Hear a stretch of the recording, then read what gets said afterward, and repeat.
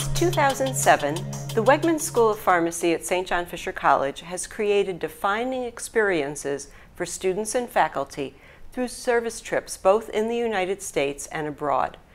Such trips are in keeping with the school's vision to foster civic integrity through service to the community and appreciation for diversity among students and the patients they serve. Today, we will be talking about one of this year's trips, which saw one faculty member, a local pharmacist, and 12 pharmacy students travel to El Salvador. Hello, I'm Dr. Lauren Vicker of the Department of Media and Communication here at St. John Fisher College. Welcome to our community forum.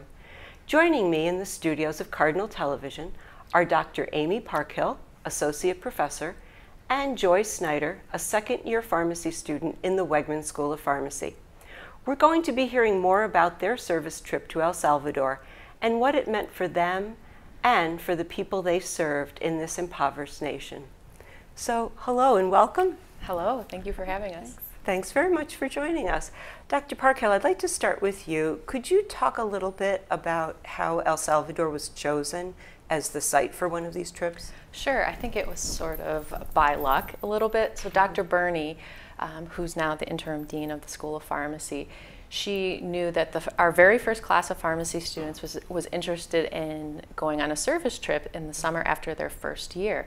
And so she did an internet search and started looking for different organizations that would accommodate pharmacy students. And I think she just called up this organization, Global Health Outreach, and asked them if they'd be willing to take some pharmacy students on their trip. And they said, yes, we have a trip to El Salvador that we would love to have pharmacy students and a pharmacist attend. So that was the very first trip in the summer of 2007. And since they had such a great experience on that trip, we've gone every summer since then and stayed with that same organization and the same team leader oh, on the trip. Excellent, excellent. And what are some of the other places where students have gone for service trips? So students have gone to Kenya, the Dominican Republic, Honduras, and India through the School of Pharmacy. Okay. And how are these trips? Um, you said that it was done under the auspices of this one organization, but within the School of Pharmacy, how do you decide who gets to go? How are the students chosen? Well, initially it was primarily just on student interest. So if mm-hmm. students were interested to go, we found a way to get them there. There is some cost associated with the trip, so sometimes that was a, um, defining factor on whether or not mm-hmm. a student could go if, if they could afford it. Mm-hmm. But um, most of the time it was just based on student interest. If the student wanted to go, we found a way to get them there. Um, we've seen an uptick in interest, so there is a short application that the students fill out if they're interested mm-hmm. in attending the trip. Okay. And for you, was this your first time in El Salvador? It was my first time okay. in El Salvador. A first time going on an international um, service trip. Okay. And how did you decide this is something I want to do this summer? It's something I've always wanted to do mm-hmm. okay. since 2007. And just with life circumstances, this was the first time I was able to go on the trip. I went on a short trip um, to New Orleans the second year I w- worked at the pharmacy school, mm-hmm. and that was a great experience. And as an undergrad, I went on a lot of domestic service trips, but this was my first international trip, and it's something. Part of the reason why I'm at Fisher is because there's such a strong commitment to service, mm-hmm. and that's yeah. something that spoke to me when I was looking for jobs. Mm-hmm. And so since I started here, it's always something I wanted to do, and this summer I finally got to do it. So Excellent. it was very exciting, and we yeah. had a fantastic group of students oh. that made it oh. even more better. That, that's wonderful. So, turning to you, Joy Snyder, yes. could you talk a little bit about how you learned about the trip and how you decided that this was something you wanted to do with your first summer after your first year of pharmacy school? Yeah, so during our orientation week at Fisher, we have like a whole week getting started for school before our first year, and they tell you right up front about two of the opportunities that you have for service trips one to El Salvador and one to Montana. Um, and those ones are the ones that are available to the P1 students. And I like traveling internationally and going to a new place sounded really cool. Um, and I thought it, once getting there was a really good experience. It really emphasized like learning top 200 drugs and all about dispensing and counseling patients. So it was a really great experience, and I just thought it would be cool to travel and help people. And what kind of things did you have to do to prepare for the trip? Did you did you have to know Spanish? We, no, we didn't have to know Spanish. Um, the the hosts at the site actually have a school there, and so their high school juniors and seniors will come and actually translate for us. So you get to know the translators real well. We had like usually three or four in the pharmacy, and some of them were actually graduated students that came back from previous years. So we didn't have to know Spanish. Um, we did go over a few of the top medications that we would be dispensing so you knew what to go to because sometimes um, the doctors when they would write out a script they would just say this person has this disease state you can choose which medication because we are on a limited formulary Okay. Mhm. so just basic medication things i mean if you know a little bit of spanish it's nice because you can talk with the people and just say hi how are you but besides that not too much preparation Okay. And you apparently brought the drugs with you when you traveled. yes How did that come about, or how does that work in terms of the organization of that? So the formulary, we choose pretty much right out what we would like, and the organization that sponsors the trip sees what they can get out of that formulary. We have to send uh, the formulary to the government so that they know what kind of medications we're bringing through the border, and they just got shipped to us, and we had to pack them up and bring them in our suitcases. Oh my. Okay. how did the students actually fund their trips? Um, we did do a few um, fundraisers through restaurants and things around the school, but a lot of it was just personal donations. Friends and family really help out. Mhm. Excellent. Okay. So, um, so Dr. Parkhill, I watched the video, and one of the first things that struck me were all of the guards with machine guns in almost every picture, including even ones where people were singing or celebrating. Um, was security an issue? I mean, El Salvador's had uh, been in the news quite a bit because of the gang violence and all of the people the, who were trying to get to the United States from El Salvador to get away from some of that mm-hmm. violence.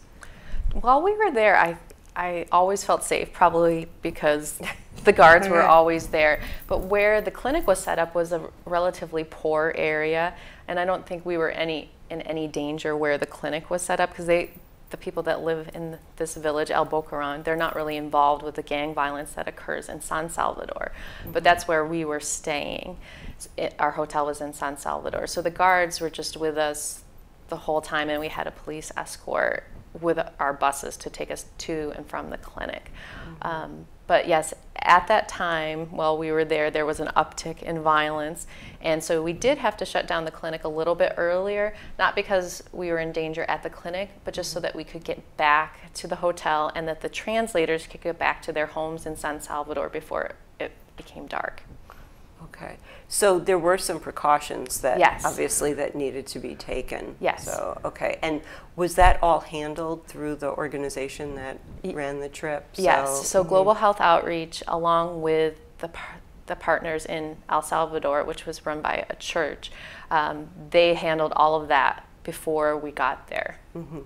And then I think there was a, probably a day-to-day debriefing about you know what time we'll open and, sh- and shut down the clinic. Mhm. Okay. So it was really a lot of precaution as Yes. opposed to any significant danger that you were. Right. Yeah. So we Okay. we had the guards with us at all times, and I think every trip that we've gone to, the school has gone to um, in El Salvador, has been the same. So this organization always has those precautions, and um, all the faculty that have been on the trip said they've never once felt in danger. That it's just kind of a precautionary measure because most of the violence in San Salvador is against people, native people who live in, in El Salvador, not against tourists. Okay. All right.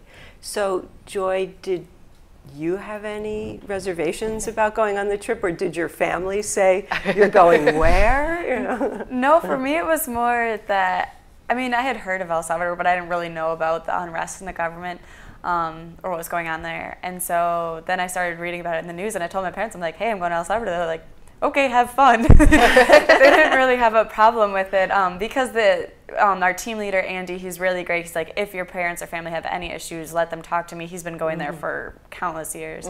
Um, and I mean, it was actually interesting learning. And since being back, I keep up with the government and read about what's going on there. Actually, like trying to learn more about their culture and why this is going on in the unrest. Mm-hmm. So I actually found out the most of the, I guess, the dangers there when I arrived.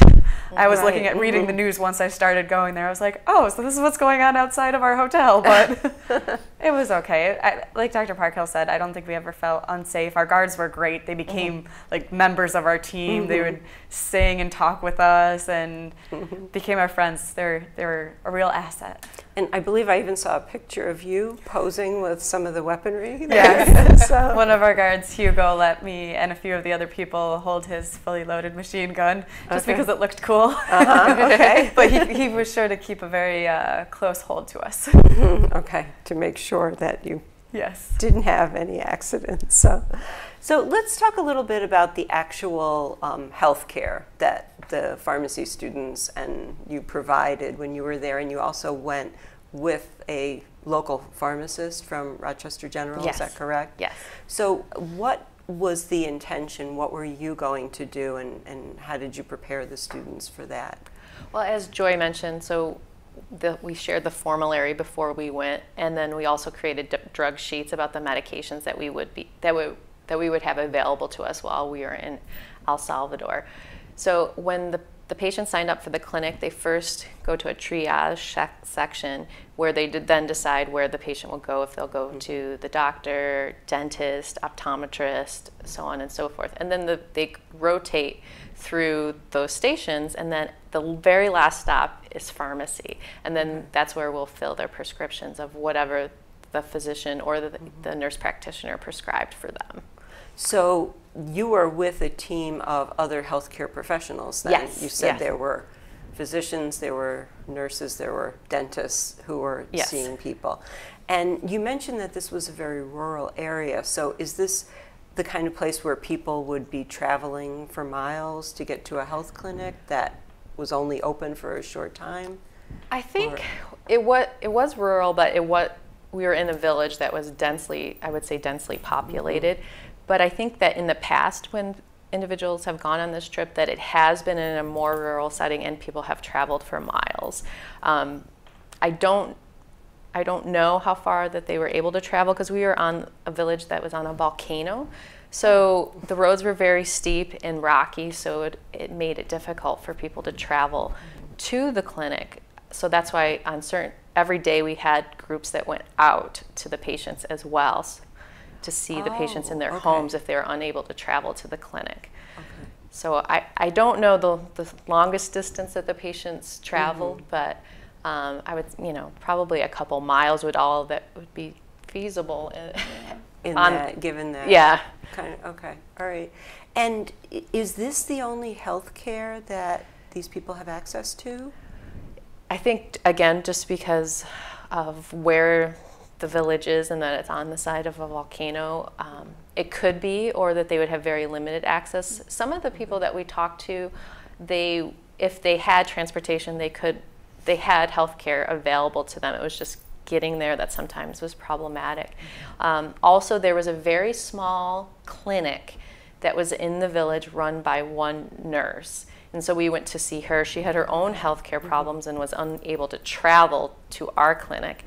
So there was one nurse that was in the village. And she was great because she also let us know of individuals that were in the village that would be um, unable to come to our clinic. So then we went out to see them. Okay, all right. So it sounds like there was a lot of good communication Yes. to different different areas. So, so Joy, from your perspective, what do you think you uh, what did you expect to do, and and how did it turn out in the clinic? Because you just finished your first year of pharmacy school, so you're still in the learning process, right? Yeah, Yeah. so I think what we were mainly expecting to do was count pills and hand them out in counsel. Mm-hmm. And that was probably the majority of the tasks, but what we weren't expecting was doing the house visits, which was really a neat Mm-hmm. experience. Um, one day I got to go to a daycare for little kids, and because their moms would be there and they would volunteer there every so often. So we got to go help those kids, give them little multivitamins, and we also brought um, dresses that had been donated, so we tried to fit the little girls to dresses.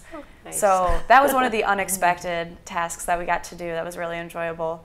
Um, but yeah, as the first as a first year student, it was interesting learning like talking with the pharmacist and being like, well, what should I counsel this patient on? I'm I know this drug, but should I be careful? Tell them something specific about these two drugs together. But So was it primarily um, just handing them drugs, but also talking to them about improving their lifestyle? I mean, can you say you need to get more exercise, or you need more fruits and vegetables in your diet, or So as P1s, that was 11 out of the 12 of us. We were P1s, and um, we pretty much each patient that would come in would get multivitamins as well as um, something that helps. Uh, it's an anti-helminth, so people with like intestinal worms. So everyone would get that because they don't have really clean water and food there. Okay. So every patient got that, and we would tell them about it. These are your multivitamins. Take them every day, and then you're going to quick chew this not so good tasting tablet right now. Okay. Um, but one of the P2 students um, was doing more of diabetes education and hypertension education. So she did help them with their diet and telling them what they should and shouldn't um, eat, especially because the way the food is there, people don't realize this is like you're taking in sugar. Like someone was saying oh i don't really like this tea so i just add a bunch of sugar into it. But that's not the point. Like you need to Right. stay away from some of those things when you have those long-term disease states. Mm-hmm.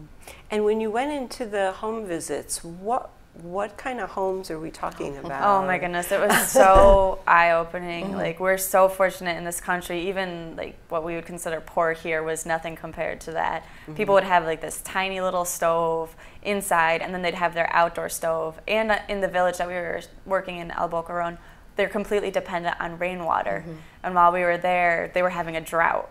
So it was oh. they were so generous with us with like helping us like wash our hands with the rainwater and everything. We weren't allowed to drink the water, but as far as using the water, they were so mm-hmm. generous. Um, but you would just see these huge cisterns that would catch their rainwater, and then you'd go into these houses that we wouldn't even consider houses. A lot of their living was kind of done outside. Okay, yeah. all right. So mm-hmm. it was pretty primitive, you'd say. Uh, yeah. Yes. Hmm Yeah, so outdoor sh- outdoor showers, and then the outdoor stove is just a fire, you know. Right. so okay. it's not very yeah very very primitive. Chickens and cats and dogs running all over the place. Yeah. Okay. So it looked from some of the pictures and videos that I saw that you did more than just have health care um, providing with that with the people that you met with. It looked like you kind of participated in some aspects of the life of the village. Would would you say that's accurate? Do you want to go? Or? Um, I I think that w- since we were at the end of the clinic, I think most of the time we kind of were stuck in the pharmacy. But on certain days, um, we were the clinic was held in a school, so there was kids around us all the mm-hmm. time, and they're always peeking in, looking to see what everyone's doing.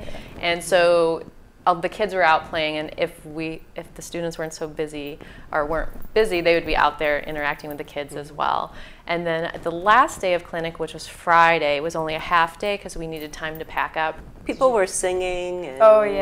Oh, dancing. at the home visit, so right? there was a home visit, and there was this lady. She was in her 80s, and the group had gone and saw saw her one day, and they were like, they were about to leave, and she's like, "Wait a second, I want to sing you a song." And so she sang a song that was like five minutes long. She's like, "But wait, don't leave. I'm going to sing another song." Okay. so the next day, I got to go out on the home visits, and they're like, "Let's go see that lady again." And we just went up to her house, and she's like so happy to see us, and she sang songs with us, and it was really cool because then if we bring up the guards again, they were standing around clapping and singing the songs too because they were like mm-hmm. cultural folk songs there and that I guess that would be how we got mm-hmm. involved mm-hmm. there. And then even when our patients, when we would counsel them on the medications, because we were the last stop, they would give us hugs and say, "Thank mm-hmm. you so much for being here." I'm pretty sure on the last day, one of the moms offered, like, "If you come back again next year, you can come to my house." Like, they're just so grateful and open to us being there. Oh, very nice. So you mentioned that you stayed in a hotel in San Salvador. Did you um, eat with the people in the village or at the clinic, or how how were meals handled? So we had breakfast at the hotel, like a uh, you know just a normal breakfast buffet, and then at lunch we ate lunch at the clinic, uh, and that was prepared by the the church. That was like our host church there, so they prepared the lunch there, and then dinner was at the hotel that night. Because we did have to be very careful about eating food that was correctly prepared without the water. Right, Um, right, yeah. So So I could see where that could be. You never know how much you miss pretty- salad until you can't have it for a week. we couldn't have any like veg or fruits or vegetables that were just fresh or washed just there, Right, unless it was like a watermelon that's inside of the fruit. But that was the biggest thing that I missed. I think was salad. Yes. So, um, could you talk a little bit about how this trip has kind of impacted your view of you yourself as a pharmacist and you know going into your rotations now in your second and third years what you think you're taking with you? Yeah um, definitely making sure like to care for the patient know where they're coming from. It's very hard to tell some of these patients like what they can and can't eat because the unhealthy foods might be all that they can afford and just taking into their stories and how to treat them um, going into my rotations i want to go back so and keep serving the population there um, so that's what I would take away, just making patient care the primary concern and knowing where they're coming from. Mm-hmm. So you think at some point you might want to actually work abroad or I don't know if I could work abroad, that whole missing the fruits and vegetables thing, yeah. but I definitely want to continue. Um, next summer I hope to go to El Salvador and then do a longer trip during my P4 year when we do the longer rotations. Mm-hmm. Okay. So, and um, Dr. Parkhill, I, know some people might say, well, there's there are a lot of people in need here in Rochester and in the United States. And I know the School of Pharmacy does a lot of mm-hmm. outreach to the community also. But people might say, well, why would you go to another country as opposed to staying here where there's also need? Well, I agree. There's there's also a need here. Going, being immersed in another culture, you just get a different perspective. And as Joy mentioned, um, poor in El Salvador is different than poor in the United States. Yeah. It, it really is. Um, so they are living in a hut, essentially, um, that doesn't have running water, doesn't have electricity, and they're using a fire to cook to cook all their meals. That's mm. something that even the poor in the U.S. often don't experience. I went, right. so I think that, that getting that perspective is great for students just to be aware of the needs of the world and that there's a lot of need in the world. Mm-hmm. Um, and um, also, though, I think that experiencing something like that makes you come back to Rochester and also, you know, be more aware of the needs of your community and want to do something. Mm-hmm. In El Salvador, it was the people, even though they had so little, were so generous in spirit, and it just mm-hmm. like put a fire under you that you really want to do something. You want to do something for the poor, and mm-hmm. you appreciate all that that we have. So when you come back home, you look at your life in a different way, and you just, you know, want to do everything you can to help those in need, even in the U.S. And I think also just experiencing a different culture is a great experience for mm-hmm. students as well. So experiencing a different culture and then realizing how tremendous the need is outside of the U.S. I think mm-hmm. those are two good things that come out of this trip. Yeah, excellent point. Do you think it's changed the way you approach your teaching of your students? Um, I, I don't know about that. I th- I've always had a service focus, um, and but I had such a great time with the students on the trip, so I feel like I'm I'm a much closer to the students now than I was before. Right. Mm-hmm. So I think that that's great. Um, I probably haven't realized how how much it's changed me yet because you know the trip was right before the semester started right, yeah. so everything was kind of already planned for that semester so i couldn't make a lot of changes but i think i i plan on going on trips every year if i can mm-hmm. so i think that it will be something that will contribute to my development as a teacher for sure excellent excellent now i understand you had to present something about your trip to the current pharmacy yeah. students so that they would know what it's about. What was, how did you put that together? What, I mean, it sounds like you have so much to talk about. So I think we only talked, to, well, I put that together initially, um, and I think I only included like 5% of what we did or in our experience because our everything was, we, we did so much there and we got mm. to see so much. And even like, traveling there was an adventure and getting you know getting back was an adventure so there was like so many stories that we could have told but we only had like 10 minutes or mm-hmm. so oh okay so so I just put it together put together the highlights so that the students would kind of see what the pharmacy was like mm-hmm. and you know kind of give a rundown of what to expect when you got there mm-hmm.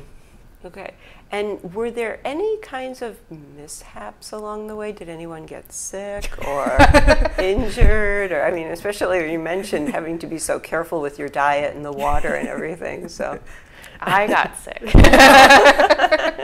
yes. The first well, we arrived in San Salvador late, very late Saturday night, and then on Sunday, it, it's very hot there. Um, on Sunday, we went out for lunch as a whole group, and we went to, in the World Trade Center area in San Salvador, very n- nice area.